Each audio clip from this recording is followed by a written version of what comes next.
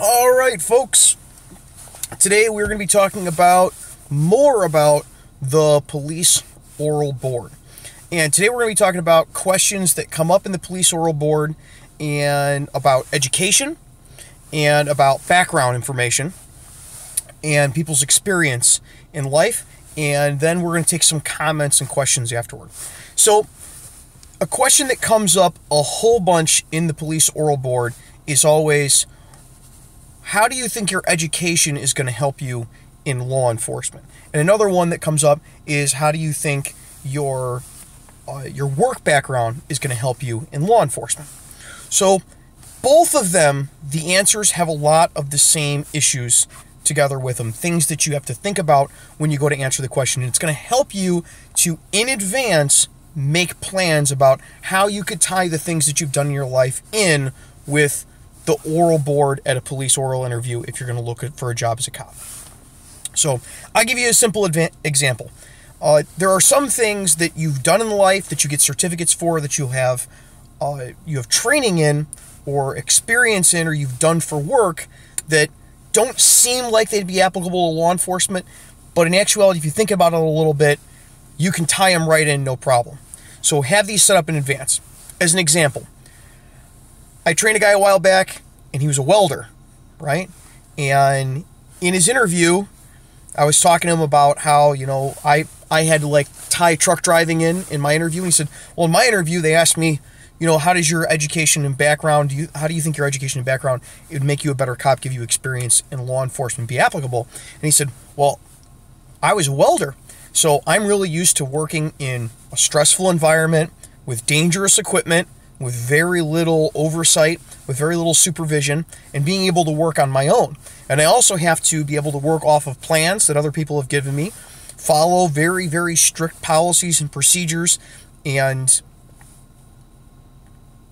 how did he put it? And uh, meet very strict specifications when I'm welding things together to make a product for a customer for my last business. So it, you have to be able to tie this stuff in. Like when I was a truck driver before I was a cop, when I went to the oral board interview, they said, "Well, how does your background and your experience? How do you think that's going to help you be a police officer?" Well, I was like, "Well, I was a truck driver. I had to drive all day. I'm very used to long, long trips, being behind the wheel all day without being stressed out about other people in traffic, keeping my cool in traffic, making split-second decisions, having to plan in, in advance when I'm working what I'm going to do next, and I had to take care of all of the paperwork." for everything. Everything that came on the truck had a piece of paperwork in triplicate. So I had to make sure the paperwork was filled out right, that the product was on the truck, that it weighed the right thing, and then I had to take off the triplicate triplicate forms, just like a cop would have to do with all of their paperwork. And this form has to go into this office, and that form has to go into the corporate office, and this form has to go to the customer, and I have to retain this form for my records. And then at the end of the day, I have to take all of these papers and separate them all out and put them in the right places. Right? So you have to be able to tie this stuff in. A lot of people that are going into law enforcement, they go and get quasi law enforcement jobs. They work for code enforcement, or they work in a booking facility, or they'll work security. A lot of people talk about working security and they say, well, I can tie it into police work. When you go for a police oral board, they're going to have heard from hundreds of people in the past about how their security experience or their experience working at a local lockup is going to be applicable to law enforcement. But when you can tie in truck driving or being the manager of a Walmart or being a welder or being a mechanic or being a carpenter in, the advantage you're giving yourself is you're going to stand out. They're not going to re- remember the 30 people that said that they were an armed security guard at, you know, the Tootsie Roll factory. They're going to remember the one guy that talked about how he was a welder and how his experience would transfer over into law enforcement. That's how you give yourself the advantage with it. The same thing with education stuff, right? You could you could match almost any bachelor's degree program to the needs of law enforcement if you think about it a little bit. All right.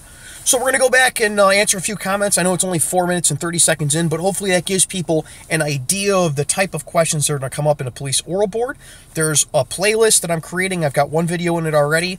Police oral board, like talking about passing the police oral board. Go back and look at it if you're new to free field training just with this video.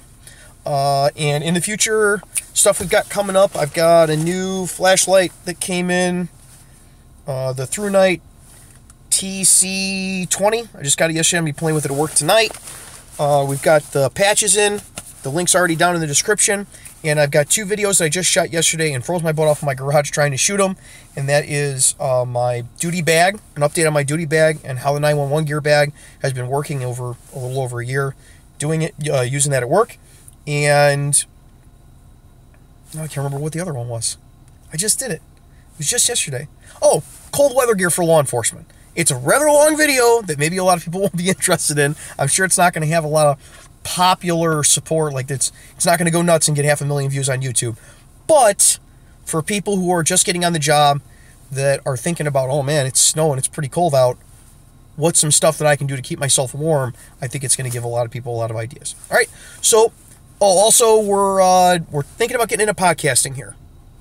A little bit thinking about it trying to i think i'm going to start dual recording um, with a better microphone for when we do live streams so that we can take this stuff and transfer it into podcasting. I'm hoping that that will um, not just diversify the market and diversify where free field training is going but also allow me to talk about things maybe on the podcasting that youtube would have a problem with.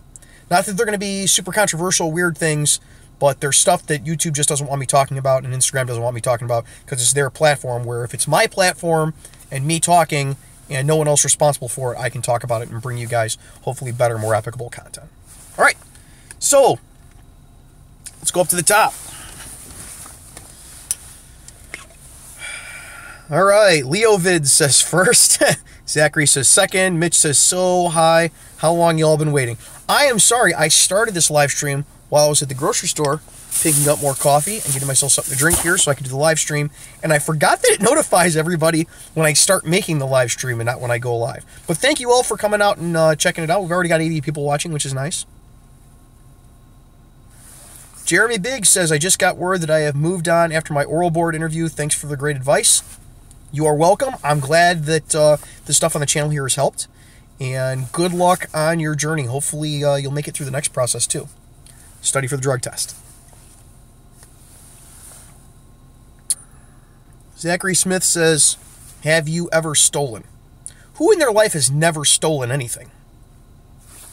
Private Doggo says, Daddy. Not your daddy. I got enough kids. Christian Tapia says, First live stream on the channel. I'm glad you could join us, Christian. We've got a whole lot of other ones you can watch them you watch through all of them. I keep all of them. I don't throw them away when uh, they're on YouTube, unless YouTube deletes them, which has happened. NF Lyrics, could you answer something about bounty hunting for me? Probably not. But now you're lost in the stream because you're like, that was 10 minutes ago you commented that. We don't have bounty hunters here in Illinois. So there's not a lot of things I can say about them. I watched some of the bounty hunting videos on YouTube, and it's weird to me some of the equipment and tactics that they use some of their tactics are like really, really good. You hear them talking to people, trying to talk people out, thinking on their feet. And then I see some of the equipment they're using. I'm like, what are you doing? Uh, Jaden says, I just want to let you know I'm doing police ride alongs on my birthday. For my birthday, I'll be turning 18. Oh, congrats. Have fun. Vastly says, hello from Atlanta. Hello from Illinois. I was in Atlanta this summer. Very hot and humid in Atlanta. Greetings from uh, High Speed Low Drag says, Greetings from frozen Texas. Greetings from very frozen Illinois. NF Lyric says, Do you get a police car when you start as a bounty hunter? I have no idea. Bounty hunters, I'm pretty sure, just use whatever cars they own. That's a private business. Vastly says, Not a Leo and never will be, but I enjoy your vids. I'm glad you're watching, man. Stop on by, hit thumbs up, subscribe, tell your friends, share the videos, all that stuff. El Zeki says, Greetings from the United Kingdom. Greetings from the U.S. Marlon White says, Were you in the military? No, I was never in the military.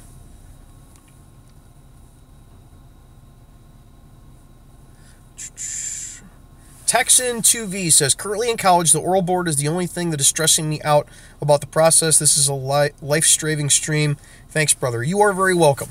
Trying to take some of the mystery out of it because I think a lot of stress that people have about the police hiring process is just the mystery of it. Like they don't know what to expect and how it works. Scout says hello again from Quantico, Virginia. Hello from Illinois. Roy says, just passed my written exam and Pat, what do you recommend, civil service department or non civil service? I don't know what you're talking about. You mean a government entity or a non government entity? Whatever works best for you. Any job that pays the bills is a good job. And there's no shame in any of them. I've said before, if if I got offered a job tomorrow, paid $125,000 a year to sweep the floors, I'd be sweeping floors. And this channel would be Tommy's floor sweeping channel. And we'd be talking about the best way to sweep floors. Adam says, What is your strategy for when they ask a question and you have no idea what to say? Well, that's the goal of this is to get you to where you're going to know a lot of the stuff they're going to say and you don't get tongue tied like that. You could just say, I don't know, I never thought about that before. That buys you four seconds to think up something, right? Christian says, as a sociology major, I stated in my interview that I learned about community policing in my class and the importance of gaining public trust and respect. Oh, the so the fuzzy sciences, huh? Here's the thing. Community policing is not a, a division. It's an activity, right? If you're doing your job right, you are the community policing. If you're doing your job right, if everybody's doing their job right, if everyone's held to the higher standard that you should be held to, then community policing takes care of itself because the community sees what's going on. Of course, you also have to have the help of your administration who backs you up and explains to the public when weird things happen, what happened and why. George says, I have a question. Can you become a security guard with a green card? I don't see why that would be a problem in most states. Al Zicki says, Can you go over your oral board experiences? That's what we're doing. Mike Wilkerson says, In your travels, what gotcha questions have been offered in the oral board, either because they were perceived, either because they are or because they were perceived by the new, newly minted officer? Gotcha questions? I haven't really run across too many of them. I have heard of agencies that will ask questions to see if you will lie. They'll ask, like, would you write your mother a ticket? And that goes back to the whole if you figure out that what's going on is they're asking you questions to get you, do you want to work for a place that's doing that? That's that's a big boy question for people, right? If you go to a place and in the interview they're playing games is that a place you want to work? What are they going to do later down the road when something sketchy happens? Are they going to toss you under the bus? What happens when there's a disciplinary problem? Are they going to play games? Is that a place you want to work? That's not really a place I want to work.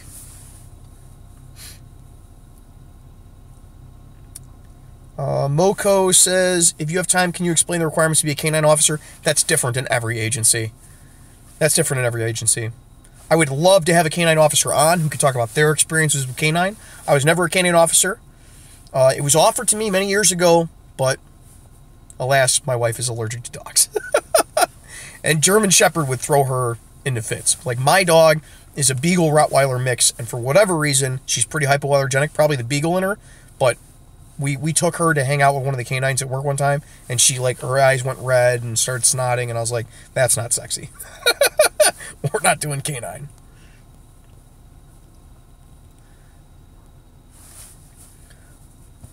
Uh, XXX88XXX says, Is military service something generic as security gigs when applying to Leo jobs, or are they more valued? It depends on the agency. Some places don't care. And I'll be uh, brutally honest with you. Some places don't care that you have prior military experience. Some places prefer prior military experience, and other places actually restrict everyone out of the process that doesn't have prior military experience, right? Here in Cook County, Illinois, a few years ago, the Cook County Sheriff's Department, so the people that run uh, courts and corrections, basically was is their entry level jobs. They were hiring nothing but military veterans. They told you right at the start, you're not a military veteran, don't even bother applying. Everyone we take for the next three years is going to be a military veteran. In other places, don't care.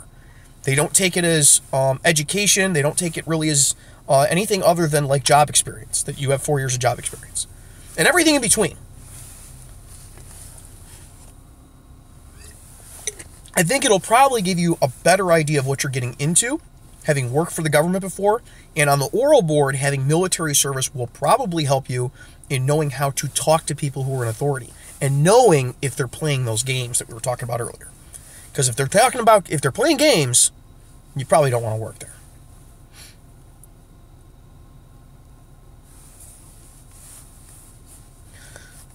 Gerardo Aguilar says, Love your videos, man. One question that caught me off guard was tell us a time when your integrity was in question. That's borderlining on playing a game.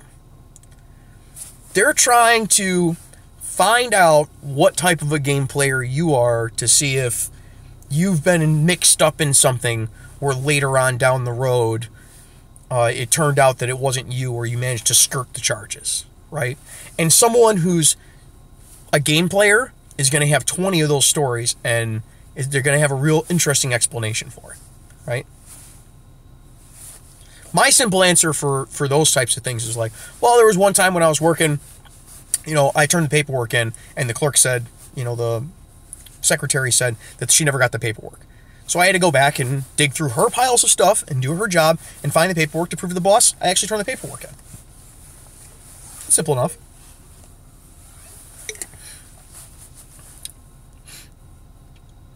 John O says would love a podcast. Well, we're working on it. Long term plans. I'm always looking to expand where the channel is going. That's why we started the Instagram. The Instagram hasn't really taken off as well as I would want to. The Facebook, which is just kind of like a magnet for negative comments. And uh, you know, those haven't really exploded because it's it's my ability to talk to you guys that seems to draw a lot of people in and interact with people. So a podcast kind of seems like a natural way to go to expand that audience scope and expand the, the things that I can do. Uh, high speed low drag says full length videos that have teeth are what I look for. I'm glad you like them. Please give me video ideas. Email me or leave a comment on here or leave a comment on the Instagram or the Facebook or something. Give me video ideas. All of my video ideas currently are coming from people that watch, they're coming from viewers. Stefan says, I listen to your videos as podcasts on my way to work. So stoked for this. I'm glad you like them. That's part of the reason why we're kind of getting into this idea because a lot of people have told me that same thing.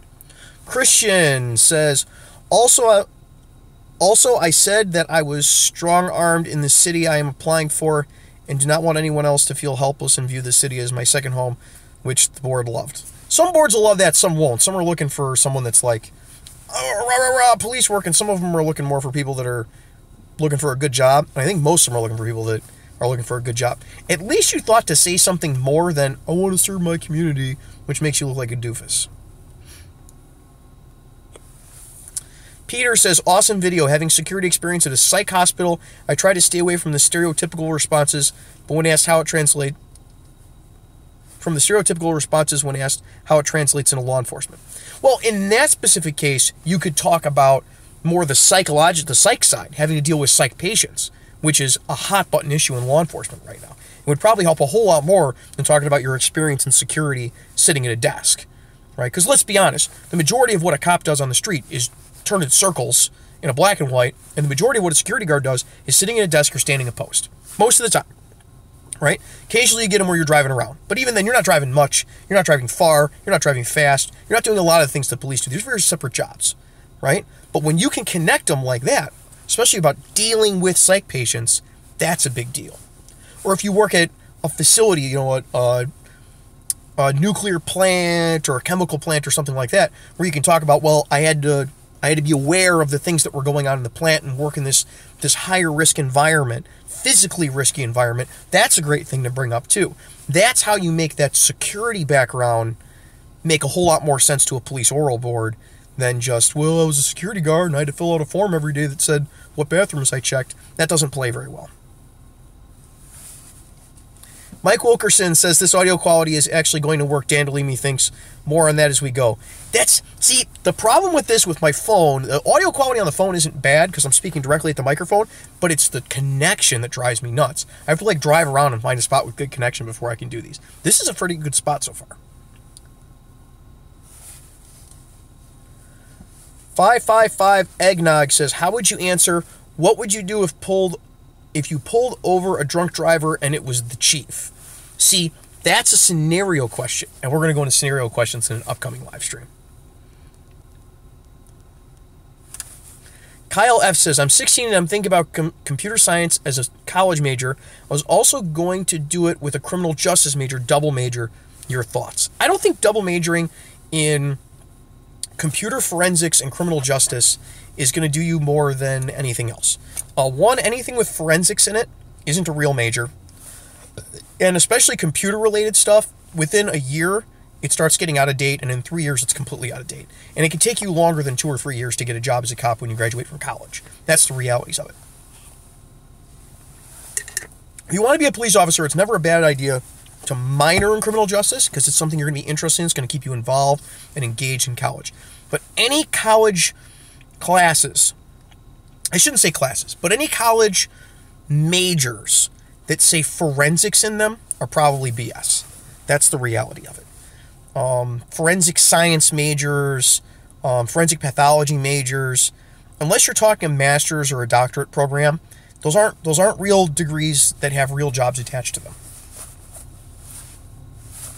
If you were minoring or majoring in criminal justice and you were minoring or majoring in computer science, that would make sense. But you're not going to learn anything in computer forensics that you wouldn't learn in computer science. That's computer forensics is a major that is designed by a college to sell a product. You have to realize when you go to college, you are buying a product, the college is selling you a product. How many people are computer forensic science technicians in the country? Find the number. I guarantee you it's going to be a three digit, maybe low four digit number. And then look around and see how many people are in the class with you for computer forensics. The college would not offer it if there weren't a whole bunch of people involved with it and there's no jobs for it. It's jobs. It's essentially jobs that don't exist, and the people that are getting those jobs are not taking computer forensics in college.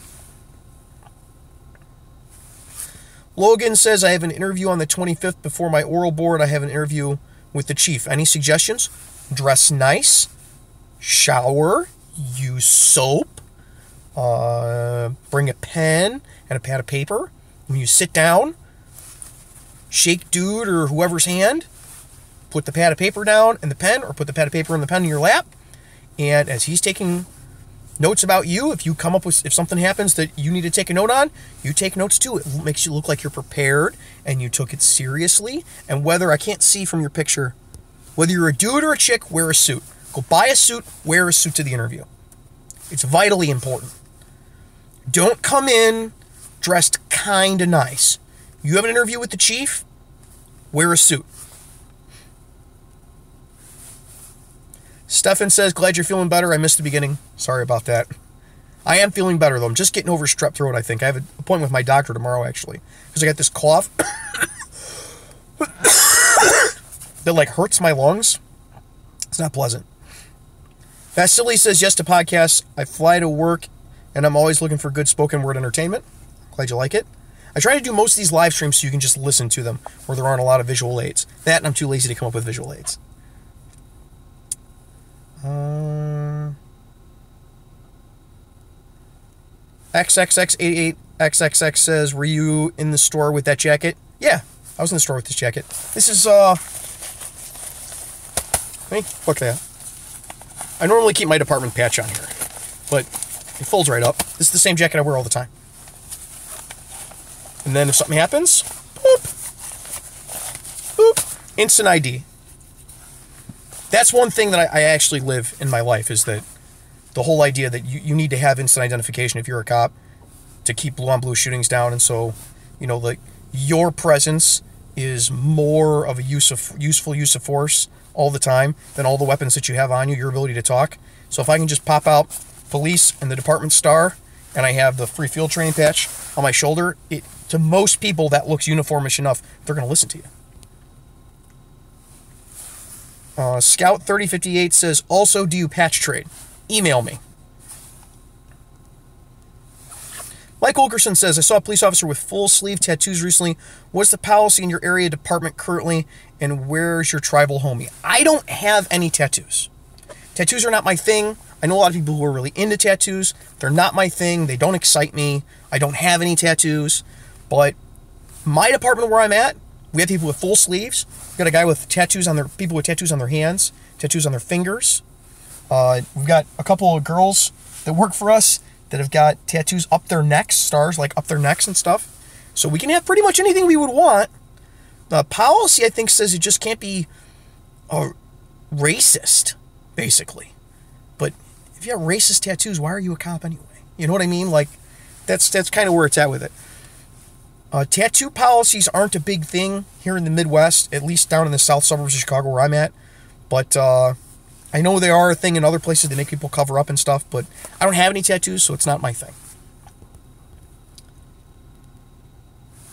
Uh, Mustang Krillin says, finally caught alive. Ha ha. Any thoughts on voice stress analysis versus polygraph? Polygraphs aren't real, neither is voice stress analysis. They're, they're a stress test. So if you're not stressed about what you're saying, you're going to pass. That's it. That's the whole that's the whole deal. Google them and you'll realize that there's nothing to be stressed about. Daniel Ellison says, What advice would you give to applicants who have never worked in security or law enforcement when they're confronted with scenario questions? Well, the people that are on the police oral board aren't all cops, and they're not expecting you to be a cop. Now, obviously, if you if you got law enforcement experience, you're going to be able to answer the questions in a more articulate manner because there's situations that you may have been put in before. But all they're looking for is for you to be a sane, reasonable person. So answer them honestly. We're going to do more on that in the future. Maybe the next one we'll do, I'll, I'll write up some scenario questions. In fact, put the scenario questions that you want covered, that you've maybe seen or heard of before, in the comments section so I've got some material for the next live stream. Uh, D. McGowan says, you get to choose your patrol vehicle? No, I don't get to choose it. I don't even get to take it home. I don't get to use it for videos. But it is nice. I have an all-wheel drive Ford Explorer, brand new, 20 well, not anymore brand new, but 2017. I got it when it was brand new, but I don't get to decide that. I complained at my boss about the Taurus until he gave me the Explorer, so I guess there's that. But today I could come into work and be like, "We don't like you. You're in a Crown Vic," and I'd be back in a Crown Vic. Adam says, "Going to get my power card from JJC soon. That will help you in Illinois getting the power test card. A lot of places don't even want to give the power test for liability reasons. They want you to just show up with the card. So good. That's a step toward the right way.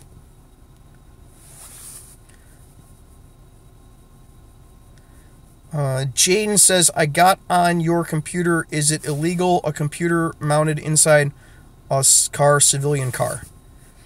It, in Illinois, it kind of is. Any screen you can see from the driver's seat is illegal in Illinois. Any any screen. So a lot of the stock screens in cars technically aren't legal in Illinois, but putting a laptop up front definitely isn't. I know some utilities get away with it, and security companies they put uh, laptops in the front seat of the car. Realistically, you don't have any use for it up here. Like, what are you gonna you gonna play solitaire on it? Half the time, I wish my squad car didn't have a computer. VRP says just got a new car. Hey, congrats. Stefan says, can you talk about HR 218? I think that's the law that allows cops to carry off duty in all states. Are there limitations? What does it go into effect for an officer after being sworn on probation? Well, HR 218 is a federal law that basically is an affirmative defense for a full time police officer or a qualified retired police officer who um, carried or carries a weapon in the course of their official duties um, against state and local laws, right? So a police officer can still be arrested. Like if I went to, let's say, New York City, right? And I got my, you know, my Glock 27 and my little Harry's holsters contender here, right? And I got that tucked in my waistband. And the New York City police, for whatever reason, decided they wanted to arrest me. Let's say some incident happened, right? And I blasted dude on vacation in New York City. Nightmare, by the way. But let's say that happened, right? They could arrest me for having the gun, but when it went to court, it would be an affirmative defense against that arrest. So the court would be pretty much forced by federal law to throw it out. It doesn't keep me from being arrested. It's an affirmative defense. And that's why it's it's concealed carry for officers, right? And it puts the onus on me to not, you know, mess up and to carry concealed and to be a good ambassador for my department and my state and my agency when I'm on vacation out of state or I'm transporting, you know, I'm, I'm out of state and I'm carrying, which I should be anyway. But it doesn't it doesn't allow me to carry is an affirmative defense against local uh, state and local laws and ordinances that restrict my ability to carry.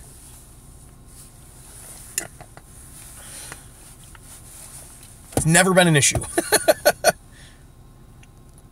the department can still restrict things though. Because HR 218 is in effect doesn't mean I can take a high and put it in a sock and go carry it, you know, in Washington D.C. That doesn't mean that. The department can still say, "Hey, hey, you weren't supposed to be carrying that at all," and I can still get reprimands from my agency if I go outside the department policy. It's not what people HR 218 isn't exactly what people think it is. It does a lot, but it isn't it isn't it isn't a right. It's an affirmative defense. Mike Wilkerson says, ride-alongs, interesting. Does your department offer ride-alongs and what is the protocol to arrange that in general? Currently, my department has a policy on ride-alongs, but we don't take ride-alongs unless they're uh, employees of the department or police explorers. So the only ride-alongs I've had have been dispatchers and police explorers. I recently had a police explorer on a ride-along, and um, she told me I was the only real cop that she had been on a ride along with because apparently they had her riding with like people from community policing stuff. And they're like, yeah, I rode along with this person, that person, but you're like the the first real cop cop that I rode with. Like you were just pointing a gun at someone, and I was like, welcome to real police work. It was fun. We had a good time. Red Van says, greeting from frozen Canada. Greetings from Illinois. Gordon says, How much of that 5 o'clock shadow does your department allow? Are you rebelling against the new no beard policy? You know, I've just been off the last couple of days. I've been in my garage making videos, and it's 124 now. I'm going to have to go home and get ready for work in like 10 minutes. So the stream's going to be over shortly. And I'm going to have to shave before I go to work. I rocked the boat enough without rocking the boat about the beard thing, right? Like, I told them what I thought about it, and that's it. I'm not. I'm not gonna I'm not rebelling. Black Dolphin says, Do you play Bad Boys Cops theme when on patrol? No. No, I don't. I actually listen to a lot of gangster rap. I run out of things to listen to. I've been I've been driving for a living for over 20 years. You can only on the on the radio. Uh, 555 just to get to and from work or for their daily activities. It depends on the department. Mustang Krilla says, "My God, man, where's the coffee cup? I actually forgot it, so I stopped and got this uh, this Starbucks Frappuccino. Need a little caffeine in my system."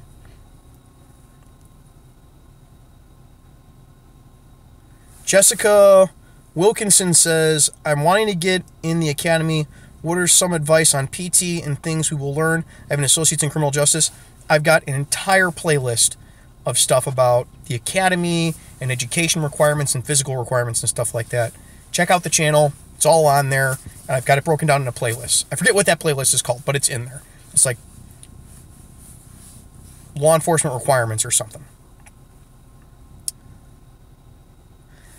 William Steeder says, Hello from Nashville, Tennessee. First time I've caught the live stream. It's nice to have you. High Speed Low Drag says, Can you direct me to a video you may have for plate carriers? Uh, my plate carrier, I did a video very early on in the channel. It was one of the first videos that kind of took off. It's a little dated now. Uh, it's got my head cut out of it and everything else. But it's called uh, Plate Carrier, the Go Bag Alternative for Leos. It's on the channel very early on. It should also be under gear reviews, but it's in there.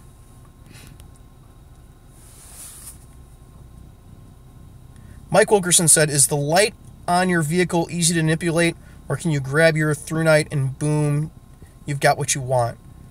I don't know what the question is. The spotlight at work works great because the car is new. Those go bad after a few years of using them. But uh, I have my Streamlight Stinger when I'm at work, and I can shine that out the window if I want to. Most of the time, if I'm in the car, I'm using the spotlight. The spotlight's a much better flashlight than you're ever going to have from, from a handheld that doesn't have like a carry strap. Those spotlights, especially the new LED spotlights, they're they're brutally effective. They're actually they almost throw too well. Justin says, I love the training on use of emergency lights and how to drive. Things from Utah. That's another one, pure education stuff that uh, is going to get a bunch of negative comments. People like, why aren't you in your police car? Uh, and isn't going to have a lot of popular appeal, but it's what the core of the channel really likes. That's what the supporters really like, and so I'm going to continue doing them. I had a lot of fun doing that video too.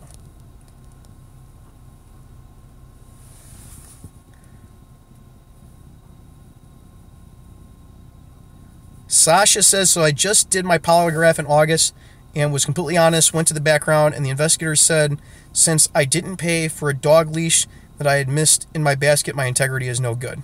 Yeah, okay. He's just playing with you. Jason says, I always enjoy your videos, Tommy. I just became a fire investigator after being a firefighter for 14 years. Hey, congratulations.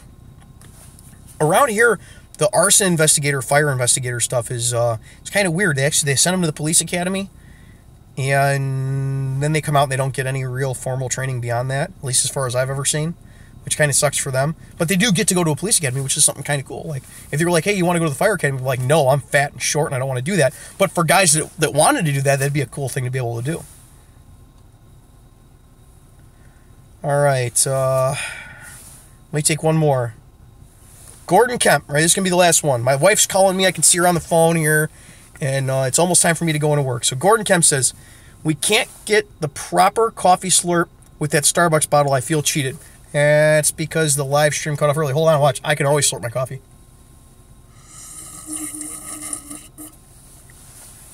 There you go. Kind of sound more like me farting on the toilet. All right. So that's our live stream for today. Thank you, everybody, for stopping by. Please feel free to put comments down below with some questions of stuff that I didn't get to today. Uh, if you've got questions for the scenario stuff, the next live stream I want to do scenario based questions on the police oral board, please put them down in the comments so I have something uh, to talk about when we're on here live streaming. Uh, until next week, you guys be safe and take care of each other.